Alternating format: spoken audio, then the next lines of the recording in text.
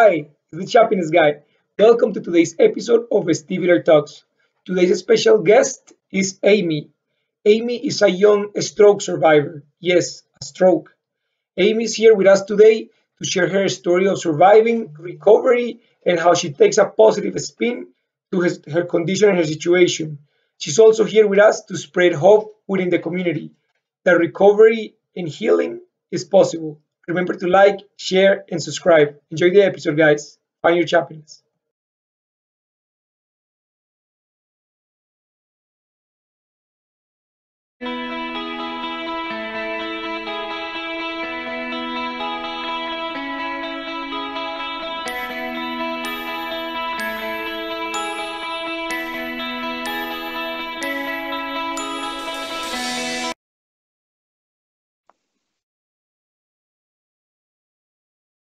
Right, Amy, we're live. So, how are you today?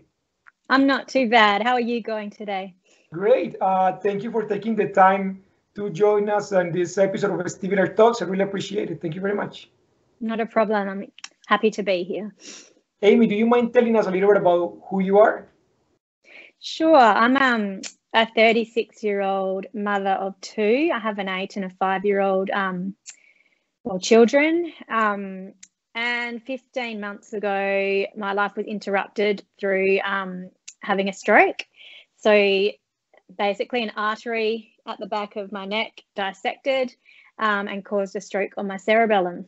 So as a result of that, um, I've been in a 15 month and um, it'll keep going and going recovery ever since. So. Um, that is uh, that is very interesting. It's uh, first of all, I'm I'm sorry you had to experience such a traumatic event because a stroke is a, is a major life-changing event in, in people's Mm. lives. Um, you're fairly young, so did did, uh, did you ever have any signs or any idea that this was going to happen to you?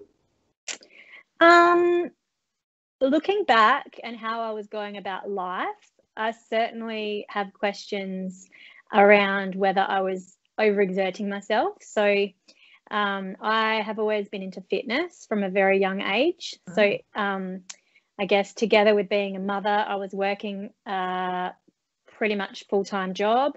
Um, and the job was stressful. So, it wasn't, it was like in um, quite high up in finance um, I was exercising every morning, or pretty much every every morning at 6 a.m. So before the kids would wake up, I'd go off and do my exercise. Um, and you know, it wasn't just a walk along the beach; it was lifting weights and throwing balls around and um, really flogging my body um, and getting the most out of those, you know, 45 minutes I was out there. Um, and I guess I would never say no to anything. So you know, I wanted my kids to be involved in all the extracurricular activities there was. So we'd run around trying to fit them into swimming, into cricket, into football, into gymnastics. Um, and there was just no downtime in my life. Um, if there was downtime, I didn't like it. Um, so I would find a way to fill that downtime with something, something else, whether it was connection or moving or adding something else to the schedule. Um, so yeah, looking back, the probably the six months before stroke, I was um, experiencing like extreme tiredness after I was exercising. It could be completely unrelated, but um, I'd often find if I did a big hour workout on a Saturday morning, I'd have to have a nap in the afternoon on the Saturday. Um, but that's really the only sign, if, and that's you know it's probably completely um, unrelated to the stroke, but that's probably the only thing that was a bit different. Okay, something that uh, seems to be a, a, I would say like a pattern for uh, a few people that I've interviewed is that many of us that have come down with uh, with like you, like you for example, with a stroke, me with uh, uh, chronic vestibular migraines, people with uh, other with MS, for example, they something that we have in common is that we were high performance and high achievers. Like we we were always Mm. busy, go go go uh, had very successful jobs, very successful careers. I myself, I'm a parent as well. I have a son. He's 14 years old, and uh, so I was always busy, go, go, go, and like you said, no real downtime. So take us back, please, Amy, to when the stroke first happened. What what were the symptoms? How how do you react to it? What happened? Um, sure. So it was it was a weekend. Um, on the Saturday, my cousin and I had won some tickets to go to the horse racing, um, just close to home. Mhm. And I didn't really want to go. I was coming up with all the reasons to not go because I was so busy. Um, but she talked me into it, and so off we went. And it was a bit of a girls' day out. They had um, all the novelty things like tarot reading, and they did your hair and makeup. If it got um, you know, if it got messy, they'd touch it up for you. Um, and it was, you know, it was it was very glamorous and it was beautiful. It was a lot of fun. Um, so then I woke up Sunday morning feeling a bit worse for wear. Um, just sort of brushed it off. Um, got through Sunday, and Sunday night thought I'll do an do a workout to redeem myself for the big day I had the day before. Um, however, during that workout, um, I believe something happened, and that's it's when I believe the tear happened in my vertebral artery. So um, it was nothing unusual. It was nothing different to what I'd normally do. Um, you know, I don't know if you're familiar with a burpee. You, you jump up and you touch the ground, you get back up again. Just a lot of that kind of stuff. Um, but from what I've learned, it doesn't take much to tear an artery. You can basically doing it looking at looking at the roof. So um, I did that that exercise, and a little bit later on that night, I felt like I could see black spots out of my eyes. Um, I thought I just need to go to sleep and wake up tomorrow and everything will be okay. So went to bed and then the next day woke up with an incredibly sore neck down the left side. Um, I drove into work, you know, just brushed it all off because you don't think anything serious is happening at the age of 35. Um, and spent the day at work. I was actually training someone because I'd recently been promoted. So this person was doing my old role. So I'd spent the day with someone else um, and just feeling slightly off. So I thought maybe one of the kids has passed on a virus and I'm coming down with a cold or something like that. Um, but about 3:30 p.m., I was walking back with this colleague, and I had a cup of tea in my hand. And as I walked towards the office, I looked at my feet, and when I looked up, the room did a spin, and I thought, "Oh, that was a bit trippy. What was that?" So I quickly got into the office. Um, I went to sit down on the chair, and as I sat down, my whole left side um, had this force, like it was being pulled to the side to the ground. Mm-hmm. Um, and I physically had to put my left hand down to push against the desk to keep myself up. So um, yeah, I knew at that point this isn't this isn't a cold. Um, and I said to my colleague, I'm just going to lay on the floor, put my feet up. I think I've got low blood pressure or something like that. Mm-hmm. Um, so about 30 minutes later, I still wasn't feeling that that hot. Um, and the colleague offered to drive me home. So I took him up on that um, and got home and pretty much went to bed after taking some ibuprofen. Mm-hmm. Um, but yeah, then it was about, oh, I'm going to say about three hours later, I woke up um, in bed and looked at the TV that was on and something just wasn't right. And then all of a sudden, I felt like I was on a roller coaster, just like I was on a theme park ride. Um, I, you know, went to sit up. I couldn't move. I basically couldn't move without feeling like I was going to um, throw up. Yes. So I called my husband in. I said, "Yeah, I'm getting worse. Something's clearly not right here. Um, I think we should go to hospital." And you know, he said, "Get out of bed and get in the car, and we'll go." I said, "No, I can't move." Um, and it was more. It was not that I physically couldn't move. So I wasn't. There was no paralysis as such, but it was any little slight movement of my head made the roller coaster ride more intense. So he called the ambulance. My mum came over, and off we went to the hospital. This is very interesting because um, I can honestly say that I've, I've never had a stroke, but I can honestly say that I relate to your experience in the sense that vestibular migraines often start like that. You, you have a sensation that either the room is spinning or you are like off balance and being pulled to one side, like you're gonna you're about to fall, Mm. so your balance is way off, as well as visual disturbances, like you feel you like your eyes can focus on, on a specific point, and, uh, and and the fact that you were feeling like just something wasn't quite right. So many many uh, vestibular migraine people that that suffer from the condition, uh, they often get scared and they go and get an MRI done uh, because they, they think, oh, I'm having a stroke because the symptoms mm. are way too much alike. So, uh, so Amy, walk us through that. When you got to the hospital, sure. Did they, did they immediately identify what was happening, or they had to do a lot of tests? No, absolutely not. Um, the ambulance officers were 100% sure it was vertigo. So they even debated should we or shouldn't we take you into hospital. Um, where I live, there's quite often, I'm not sure if it's the same in Canada, but ambulance officers are very much in demand. So once you yes. get to hospital, huge queues.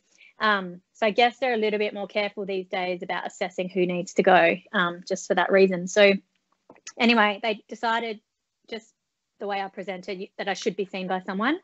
Um, but yeah, they would they started a, a treatment for um, vomiting because I couldn't stop throwing up. Um, but that had just had no effect whatsoever. Um, I remember being wheeled into the hospital and the talk that went on around me. Um, and they're just like, you're presenting as vertigo. It's got vertigo written all over it. And I just remember thinking, okay, well, vertigo sucks. Like, if this is vertigo, wow, okay. Um, but yeah, as the night went on, um, you know, I continued to throw up. I couldn't move my head. Um, I was completely with it. I knew what people were saying, but I wasn't talking much. Um, and I was just trying to keep really still to prevent throwing up. Mm-hmm. It's not mm-hmm. one of my favorite pastimes. Yeah. Um, so, yeah, I spent the night there under the fluorescent lights. Now, my husband was sitting at the end of the bed most of the night. When I opened my eyes, it was like he was flipped 90 degrees. So he was actually coming off the wall.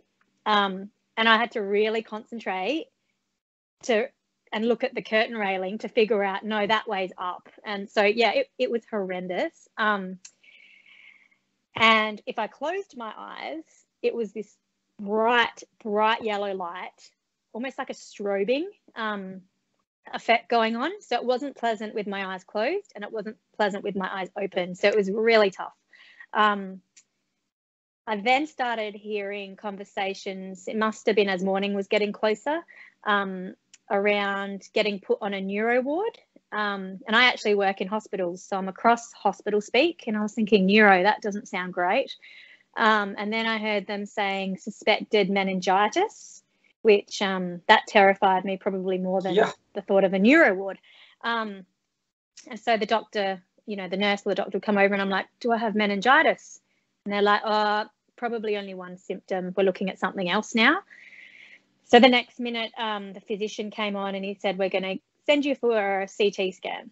I thought, okay, you know, by this point, I think I'd sort of lost all ability to really know what was going on around me. And um, yeah, they wheeled me into this CT, trying to get me onto the board. That was um, quite horrendous as well because any little movement I would just throw up, but there was nothing left to throw up. So it was just yeah, I would not wish it upon my worst enemy. Not that I have any enemies, but um, yeah. just just such a bad night. And um, the CT scan showed up nothing. So they weren't convinced. Um, luckily, I had doctors that weren't convinced, um, and they ordered the next one up, which was the MRI. So between the CT and the MRI, I was put on a hospital ward. So they admitted me into a medical ward, um, and yeah, I think it was a bit later on that day I went for the MRI, which was when the tear in the artery showed up and the stroke showed up. That is wow. And, uh, I'm sorry because the, the, the, symptoms are so so similar to to what and it's weird, Amy. The fact that you okay when I came down with these vestibular migraines, I've never had the world tilt 90 degrees, but it was 45 degrees to the right. And I would mm. tell my mm. doctor, I'm like, the world is tilted. And he's like, How is that possible? And I'm like, I don't know. So I can't even imagine how the sensation of fear that you probably experience because you're seeing your husband tilted to the side, but in your mm. mind you're like, this this doesn't make sense. This this just cannot happen. So you're probably having a conflict of like, what is happening to me versus the, the reality that you're seeing at the moment. How was your husband handling it? Was was he okay? Was he nervous? Was he scared? Um he's a pretty cool, calm, collected kind of person that doesn't show a lot of emotion. Um, and at this point, you know, when we first, before we went off to hospital, he thought you've got food poisoning from your day at the races. You must have eaten something, you know, that was that was bad. And I just remember thinking, food poisoning doesn't make this happen. Like that's that's more of a stump. Like this was this was head. Um, he, yeah, he wasn't panicked. He, I guess, you know, it's that old um that old theory when you're going through something, it's it's bad, but maybe the fear of going through that is worse. So, you know, the fear of well, it's not my experience. My what I experienced was pretty bad, but yeah. um, you know, if you've got, I had a prem daughter, and she was in hospital for eight weeks back in 2015. So, going through it you just kind of equip, you know, you get your fight or flight response happening, you go through the process because you have no choice. Mm. Um, whereas looking at that situation and you go, I could never handle that. So I think once you're in a situation, I mean, he's not the type to flip out and pace the corridors or anything like that. You just kind of wait, and as time goes by, things unravel. So, yes, to... yeah, um, I mean, he was probably petrified. He did take a picture of me at about 11:30 p.m., which I haven't shared with anybody, okay. and I struggle to look at it. Um, I have it in a hidden folder on my phone, and it's just me laying in that hospital bed. But it to me now, it just looks like a person in a bed. But from the inside and everything that was happening through my eyes and what I was seeing, completely different. So just amazing how those doctors probably looked at me and thought I was so normal. Like she's, I can see why they were saying you're having vertigo. You're just throwing up. But yeah, if only for 30 seconds had they experienced what was going on.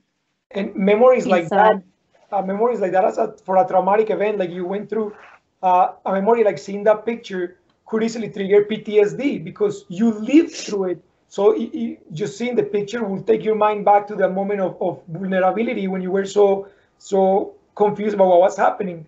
So, Amy, mm. what's the recovery process after a stroke? Like, what what do they do? Did they give you medication, exercises? Like, what happens?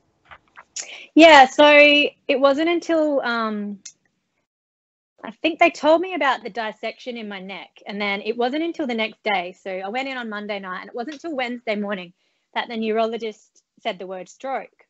Um, and that sort of had my ears light up because by then I'd stopped throwing up and I was sort of I'd come to and I was like, right, when am I getting back to work? So um, when he said stroke, I just kind of snapped back. What do you mean I had a stroke? I thought it was a tear. He goes, yeah, you had a tear and it caused a stroke. He was very laid back about it all.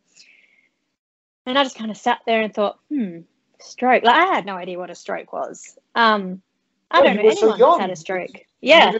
I know one person, but um, it didn't really register, and and my brain just fought it. So I was like, oh no, I didn't have a stroke. I just had this bad experience, and no, it wasn't a stroke. Strokes are like when you are paralyzed, and like I was grabbing pencils and trying to write, and just making sure I could still write things, so that when I go back to work, I could still write. And um, the in terms of rehab, um, I guess stroke survivors, most of the um, the focus is around physical therapy. Okay. Because you know, quite often you're physically impacted, and your deficits involve physical limitations. So, with me, um, most of my physical impact is through my cerebellum, which controls balance and coordination. So, uh-huh. while I can move my hands and I can walk, I can even run. Um, the way I stand and the way the balls of my feet interpret where I am um, can vary each day. So, you know, if I walk along the carpet with no shoes on, it might feel like, you know, I'm walking on or I'm running on concrete. Like it's like it, it so the message sort of goes through my heels up to my cerebellum, which if it's all um like irritable because I've been doing too much, it'll get confused and be like, ah, she's walking again. And then I'll get this weird, uncomfortable sort of feeling because I'm walking on bare feet. But if then I go and put my sneakers on or my runners, um, it's sort of, uh, it dampens the effect. So, you know how much gel and whatnot's in a pair of Nikes. Um, so I'll start walking, and it's like it takes away a bit of the impact. Um, so it's all around how my cerebellum's interpreting where I am on any given day. Um, not so much whether I can pick up a piece of paper, um, which is really challenging because at rehab, they just put me on an exercise bike and put me in a hydrotherapy pool, and it all made me feel sick. Like it was the pool, I had to literally hold on to the edge because I thought I was going to fall in and like drown, and I'm a good swimmer. Mm-hmm. Um, just looking at the water made me nauseous. I thought like I was going to throw up. It was it was awful. Like it was almost worse than the stroke itself. Um, and getting on a bike, anytime I sort of got my heart rate above 105 beats per minute, the dizzy feeling would kick in and my brain would go, What's going on? Why is my heart rate up? Why are you sending blood up to the brain? And um, yeah, rehab hasn't been that easy for me because I'm not a typical, um, I don't fit the typical mold of stroke rehab, I don't think. Um, any instances of, of headaches or migraines after the stroke or post stroke? Uh, mm, absolutely. Um, the headaches and migraines have eased up now, but uh, within the first six months, I have never had a migraine before the stroke, but I think I had two. Um, and, you know, I talked to the doctors about that. And we sort of, I mean, there's no answer, but I could sort of predict when it may be coming on. And that was my way of dealing with it. So if I, you know, sense stimulation overload, to prevent a migraine happening, I would try and stop and not keep going to let it come on. Um, and headaches, I had like a pressure in my head and almost like I had to wear, um, you know, when you go on a plane, you wear those neck rests. I felt like I needed to wear one of those 24 7 because my head felt so heavy on my yeah. neck. Um, but that feeling is not there anymore, thankfully. Well, thankfully, yeah. Uh, some yeah. of the other symptoms that I experience or that many people with vestibular conditions experience are uh, movement. So, for example, looking at cars mm-hmm. driving by or a train yes. passing by, yes. It, yep. it, it, gives you the sensation that you're moving and falling with yep. it, like you're, as well as uh, busy patterns. So, if you see like a, a carpet or a curtain that has a bunch of patterns, you, you kind of feel like whoa like that's too much to look at like do you experience yes. similar symptoms yes exactly that um, you you put it in a really good description and sometimes i can't describe it um, you know when you're driving your car this morning i was driving and a car next to me was sort of parked on the road but it started slowly taking off you as I was driving. And I'm like, what is that car? What's going on? Am I going backwards? You and feel you're moving. I yes. think I'm a bit more sensitive to that than a normal person would be. Yes. Um, it also happens in terms of the patterns. I find black and white the most difficult. So we went to this holiday house in December 2019, uh, 20, 2019. Yeah, just before, just after the stroke had happened, about eight weeks later. And the bathroom had these black and white diamond tiles and checkerboard tiles on the floor. Yeah. And literally walking in there was like, it was it was vestibular uh, rehab 101 like that just go in there for five minutes and that's all you need to do so last year in december 2020 we went to the same holiday house it was a good sort of um, measuring point because i yeah, remember yeah. hardly even being able to go into that bathroom but then then the year just gone um, i was tolerating tolerating it a lot better so it's still not perfect but and more, it still looks more. like it's moving but um yeah, it's definitely improved. Yeah. That's great. That's great. Amy, um, you mentioned earlier that when you close your eyes, you could see almost like these yellow lights flickering mm. inside of your vision. I don't see yellow, mine are orange. And it's almost like almost when you when you if you look at a light bulb or a lamp for too long and you close your eyes and you see like the, the after effect, my eyes mm. are like that all the time. Did that ever ease up for you? Because uh, hopefully that eases up for me. Do you mean like a glare? kind, kind of like when you close your eyes, it's almost like it's bright. Like it, doesn't get dark. It's it's it's almost like bright in the even mm. with your eyes closed. I get sometimes if I've been in the sun for too long, and yeah. then I go home into like a normal, like into a you know into a house, I can find I have a lasting glare, but that's with my eyes open. Um, when I close my eyes, I'm just testing. It's not abnormally bright. Um, but I say that night when I experienced all that bright light, Mm-hmm. I say that was like the the stairway. You know when they say the bright lights come for you when you're dying. Yeah. To me, that was You have like that. a spotlight on you, yeah. that was like the, I've never seen anything like it, and the um, it was coupled with I don't know if you call it hallucinations, but like memories that were so far buried in my subconscious. I couldn't tell you what they were now, but just the thoughts that went through my head that night as well, like flashing. And it's they, you know, they, when they talk about just before you die, it's um You have often what they say. You have you have the memories and the bright lights, and I'm sure it was. I'm. I'm, yeah. Uh, Amy, since you were very active, very athletic, post recovery, were you able to resume doing uh, exercises and other activities like that, or you kind of eased it up on that a little bit? Uh no, I can't do that. Um, and that was one of the hardest things Yeah. was after the stroke. Who am I? Because before stroke, I was a finance manager. I was a busy mom. I was, um, you know, super super fit, part of a fitness group. And even though I'm still a busy mom, but I'm not a finance manager now. I'm not part of that fitness group now, even though I still know them all. Um, so it was, I really struggled with who, what do I do? Like, who am I? What am I going to be? Um, and I'm a lot, you know, I'm in a better place with all that these days. But um, yeah, anytime my heart rate went up, um, I would feel dizzy, like I was sort of spinning. Um, and then I, then I'd get anxious and think I was going to have another stroke. So it was kind of Mm. like a whirlwind, and then you go into a tunnel of doom. And um, it was just best not to exercise at all because it would bring on, you know, anxiety and Yeah. whatnot. However, um, these days, I reckon it was when I hit about, uh, say, 12 months, um, I started up my walking. And I thought, maybe if I just try for 10 minutes at a time um, and then stop as soon as the feeling comes. So I got myself a watch that tracks my heart rate, Yeah. and um, I'm very wary of when what it can get up to now um, Mhm. with that before that feeling comes about. And yeah, I've come along leaps and bounds. So I started walking, I think six minutes, got to 10 minutes, um, and then I'd get into 14 and 18 minutes before the dizzy feeling would kick in. Um, and then as time goes by, I wouldn't freak out as much when the dizzy feeling did kick in. I'd be like, there it is. I felt it before.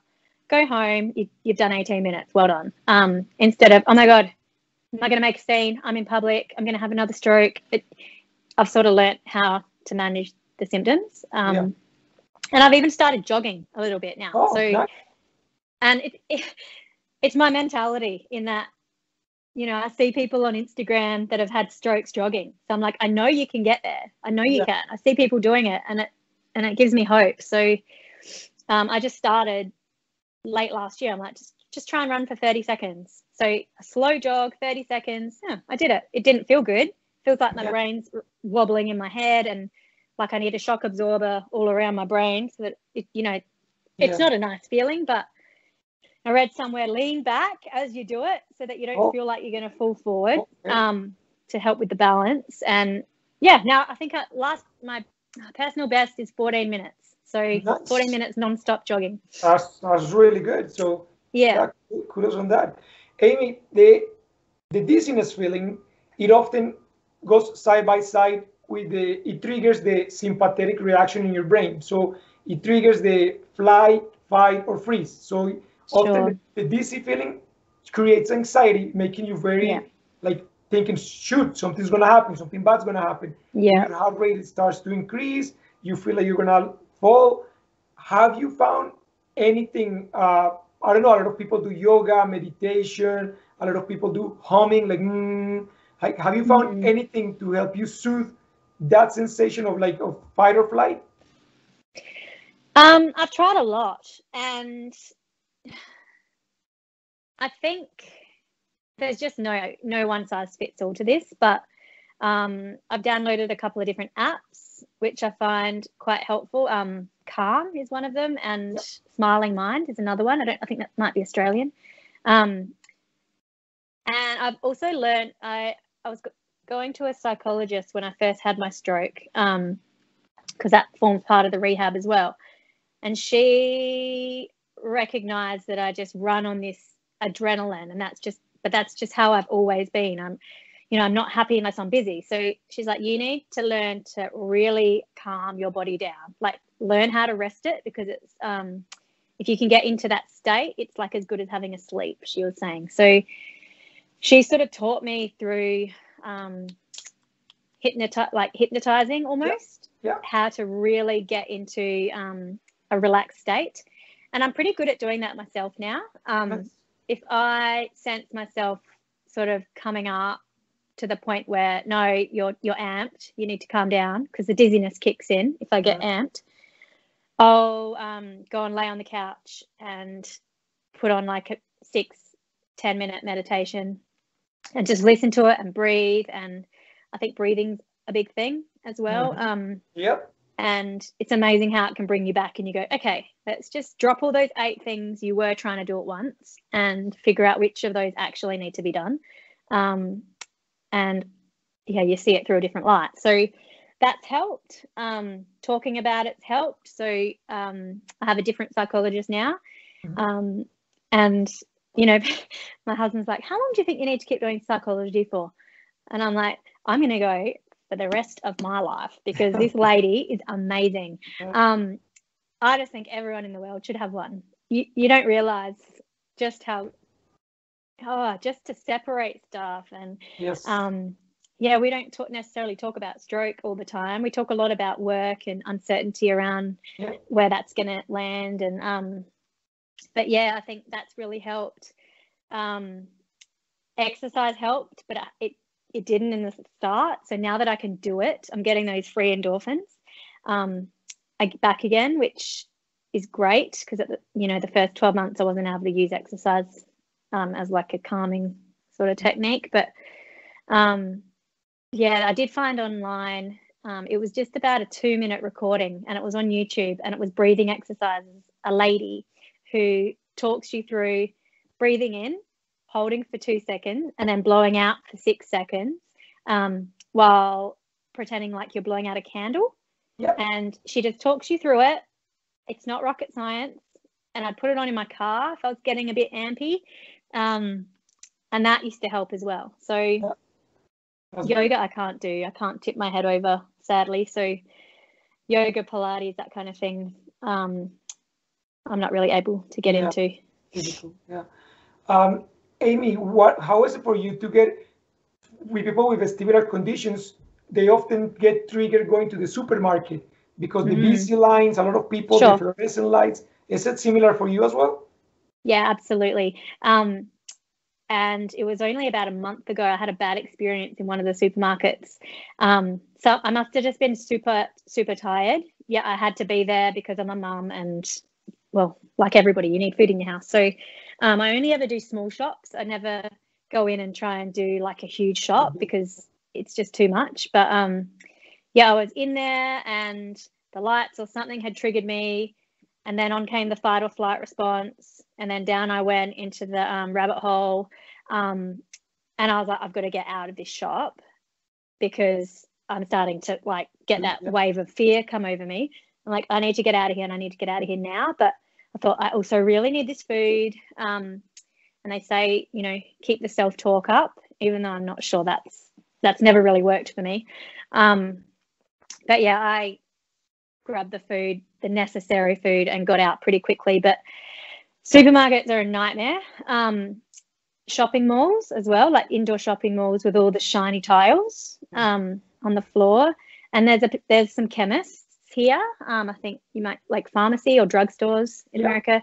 Um, we've got one in particular that that the aisles are really narrow, and they tag all the prices on the shelves with these bright yellow tickets. So you walk down this narrow um, aisle, and all you see is yellow and shiny floor and, and fluorescent lights. So No. it's like it's the pathway. I was thinking yesterday. I was in there yesterday. I'm like, this is like the gauntlet of hell for a stroke survivor like me or someone with vestibular conditions. Um, so yeah, it absolutely impacts me. And the way I get through it is I just tell myself, you have to get this. It's going to take two minutes. Like, look at the ground, look wherever you need to look, and just kind of basically just head down, bum up, um, and then get get out. Like just stay Yeah. as as Yeah. short a time as possible. Amy, what? How did this impact your relationships with friends and family? Because a lot of people don't understand the depth or, or the changes that a condition like this could have in your life for the rest of your life. So, Mhm. are people pretty uh, empathetic and understand, or they kind of like, kind of like, oh, we miss the old you, we miss the the Amy that was always active and doing all these things. Like, how how has it been? Um, pretty positive all round. Um, I'm sure people do miss the old Amy, but they're also very grateful that I'm obviously here and Yes. that I am am improving with time. So, um, one of my best friends um, has been the best support um, and so patient and so understanding and just, you know, she suffered her own tragedy around the time of my stroke. Her mother passed away. Oh. Um, and so we said to each other, you know, this is just our downtime. Like we used to be out and about all the time. We had such a great run. And then all of a sudden, both of us at the same time came crashing down. And, um, you know, all through last year, we were struggling. And then we got to the end of last year, and I was feeling well enough to be able to go to um, like a bar around Christmas time. And I said, if we ever get to the point that we can go out together, like to bars and socialize in public again, if I ever get to that point, then when we do it, we are going to do it well. We are going to buy expensive champagne. We're going to have it in front of us. We're not going to drink fast. We're, yeah, we're going to do it in style. And then, so it was around, I don't know, December the 20th or something. We did it and we took photos and we were like, you know, go back a year to where we were, how miserable we both were. And then we were sitting at this um, this bar just just near home with this expensive bottle of French champagne. Nice. Like we're not pretentious, but we were just like, we can do this. Like we've done it. We've we we thought this would never happen again. So it's you know that's a good example of a big win, but you know all throughout last year there were little wins as well. So um, you know, she'd invite me out for dinner with with another friend, and I'd say, "Nah, can't do it. Too loud, too stimulating." And she'd go, "Yep, no worries." So there was never any. Oh, why don't you just try? Or Yeah. I'm not. I'm going to stop asking because you always say no. It's never really been like that. Um, Yeah. and I think if people are like that, you're better off not seeing them. Um, and just focus on the people that get it and want to get it. And you know, just because I'm going through this in my life, I'm not impacting on anyone else's life. Like it's if people want to be your friend, they'll be your friend. They'll continue to be your friend. Um, so yeah, I think it makes you a bit more selective, certainly. And you know, I definitely make contact with the people I want to be friends with now, and I've got a whole new perspective. But that's another 45 minute talk. Um, but yeah, I think the people that ask questions and try and understand, they're the they're the gems, and they're the ones you need to keep in your life. Amy, um, a lot of the people that watch the interviews are parents. Uh, a lot of them are mothers, so uh, like you are mom, and a lot of them they message me and they said that they feel guilty because they feel like they can't parent anymore because they are exhausted all the time. They they have these symptoms. They and they feel guilty that they might not be as present for their children. What would you like to tell them in order to make them feel that there is hope?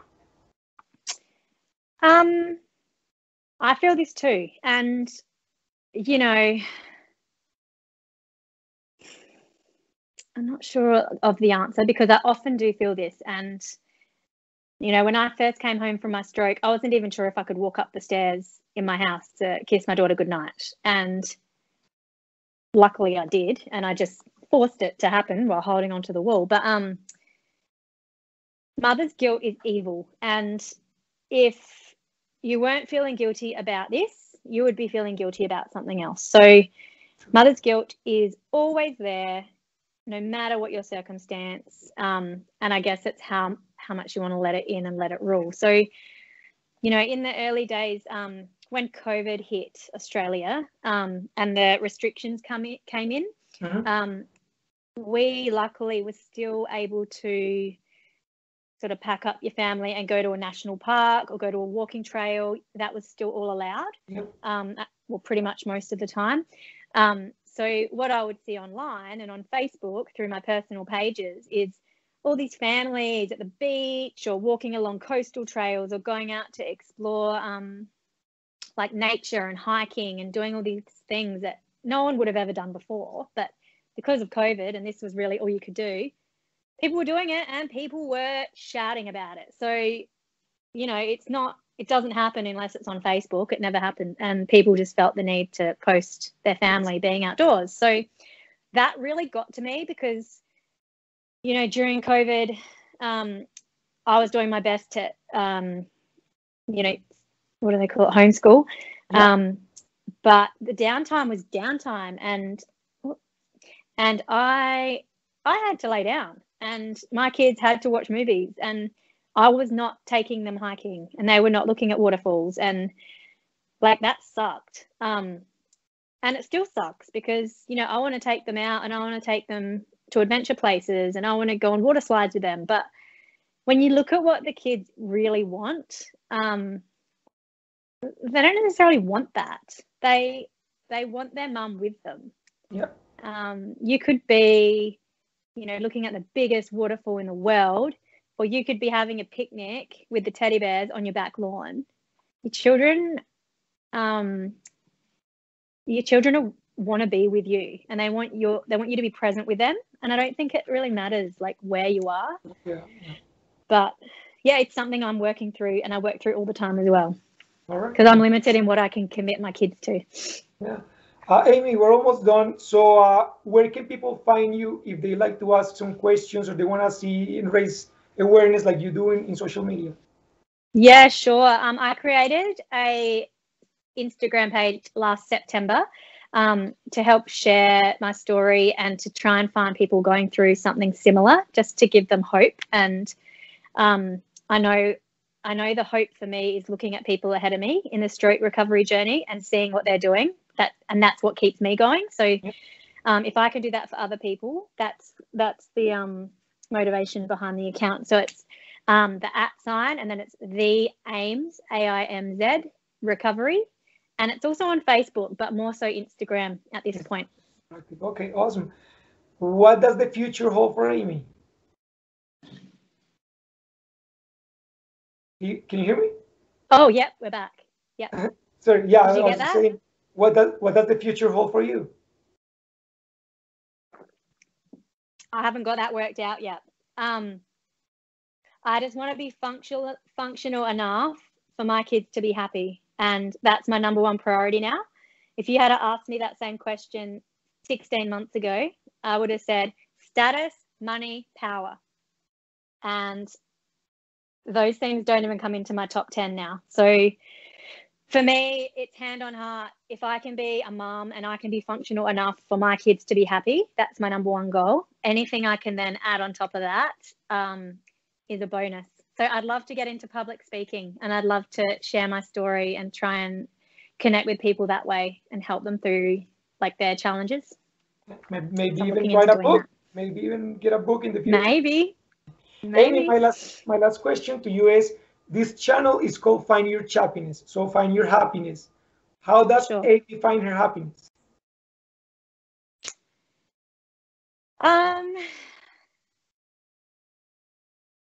I think it's you have to know who you are and what your purpose is. So, um, I've got techniques where I understand and I, you know, look inside myself and I go, what is most important to you right now? Um, and everything else just falls away. So, I do what makes me happy and what makes me fulfilled on a daily basis. And sometimes the hardest bit is working out what that is, but there are ways, and often you're doing it wrong. So old Amy was doing it completely wrong, um, and I was not happy. But stroke has made me happy, and it's also made me frustrated and angry and bitter. But those um those feelings are much less these days. But it's made me a happier, better, person, and I guess it's perspective and purpose. So figure out figure out your purpose, what you believe in, and let anything else just fall away from that. Awesome. Well, thank you, Amy. It's been a pleasure talking to you. Uh, I know your episode is gonna probably make a lot of impact, positive impact in uh, in someone's life. So it's uh, it's great, great being talking to you and enjoy that beautiful weather out there because it's, it's freezing cold in here. okay, I will do. And thank you very much for having me. I appreciate it. All right. Bye, Amy. Bye.